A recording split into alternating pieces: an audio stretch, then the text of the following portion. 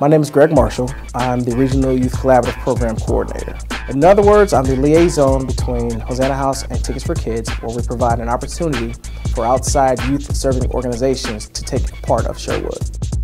My departmental staff is compiled of a group of individuals that use a very hands-on approach. Uh, we use that approach to assist in the development and progression of our youth in their right nows as well as their promising futures. If an outside organization wants to utilize the Regional Youth Collaborative Program, what they would need to do is contact Tickets for Kids. They would contact Tickets for Kids, and Tickets for Kids would then in turn contact us and let them know that they wanted to take a part of this program. Then we would pick a date based off of availability, and then we would sign them up, and they would be able to come here and enjoy.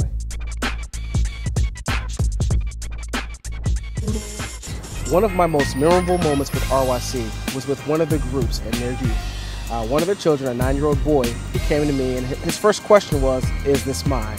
So of course I laughed and I told him, no, it's not mine, it belongs to the Hosanna houses. He then in turn said, wow, this is an amazing place. I never would have been able to see this had it not been for my youth camp and your group.